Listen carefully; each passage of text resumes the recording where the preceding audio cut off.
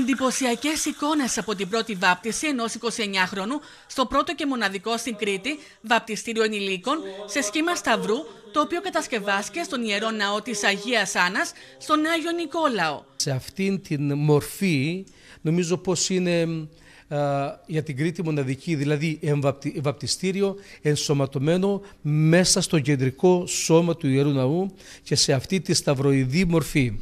Θέλαμε έναν χώρο ο οποίος να έχει αρκετό νερό, προκειμένου ένας ενήλικας, ένας νέος, ένας έφηβος, να μπορεί να τοποθετηθεί, να μπει, να εμβυθιστεί. Βαπτίζεται ο δούλος του Θεού Στέφανος, στο όνομα του Πατρός και του Ιού και του Αγίου Πνεύματος, ο τηλεοπτικός φακό κατέγραψε καρέ-καρέ το μυστήριο της βάπτισης στη σύγχρονη και μοναδική στο είδος της υποδομής σε επίπεδο χώρας, η οποία εγκαινιάστηκε στις 23 Οκτωβρίου, ενώ ανήμερα της γιορτής του Αγίου Δημητρίου πραγματοποιήθηκε η πρώτη βάπτιση στη νέα υποδομή. Είχα στο μυαλό μου πολλά αρκετά χρόνια τώρα. Τα τελευταία δύο χρόνια ορίμασε λίγο μέσα μου. Και έμαθα για το καινούριο βαπτιστήριο από τον Πάτερ Γεώργιο και αποφασίσαμε και ήρθε η κατάλληλη στιγμή. Η κατάδυση και η ανάδυση είναι πάρα, πάρα πολύ σημαντική γιατί συμβολίζει την τερίμερη ταφή και ανάσταση του Κυρίου μας Ιησού Χριστού.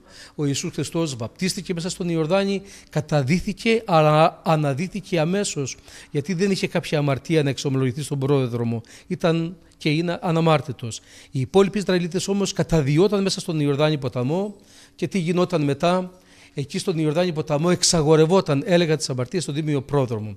Άρα λοιπόν έχει μεγάλη συμβολική σημασία η κατάδυση και η ανάδυση, θα λέγαμε και η ολόσωμη εμβάπτιση μέσα στο νερό. Στέφανος, εις όνομα του Πατρός και του Ιού και του Αγίου Πνεύματος. Πρόκειται για τον 29χρονο Στέφανο, κάτοικο Αγίου Νικολάου, ο οποίος πληροφορήθηκε για το νέο βαπτιστήριο ενηλίκων, αποφασίζοντας ότι έφτασε η κατάλληλη στιγμή με τη βάπτιση να γίνεται σε στενό οικογενειακό κύκλο. Και πώς νιώθεις σήμερα; Εντάξει, περίεργα λίγο, αλλά...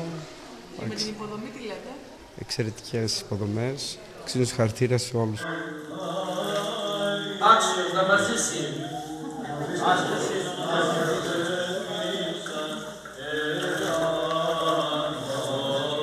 Τη βάπτιση τέλεσε ο πατήρ Γεώργιος Τζάβλας.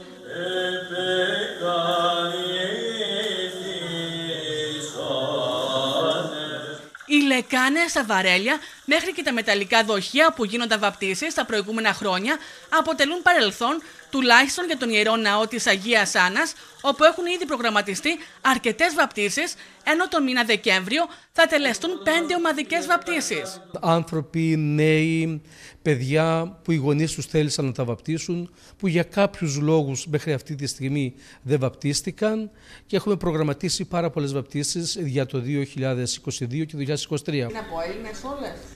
Όχι, έχουμε και από τις ε, σλαβικές και σκανδιναβικές χώρες προγραμματίσει βαπτίσεις από την Αλβανία, από την Μολδαβία.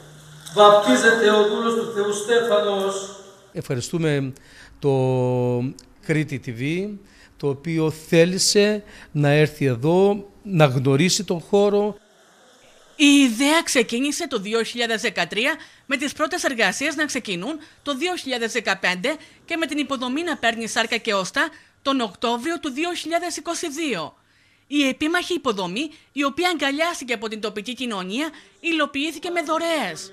Σύμφωνα με πληροφορίες, η βραβευμένη Βρετανίδα συγγραφέας και δημοσιογράφος Βικτόρια Χίσλοπ, η οποία βαπτίστηκε στον Ιερό Ναό το 2017, προσέφερε τα πρώτα χρήματα για τον ιερό αυτό σκοπό.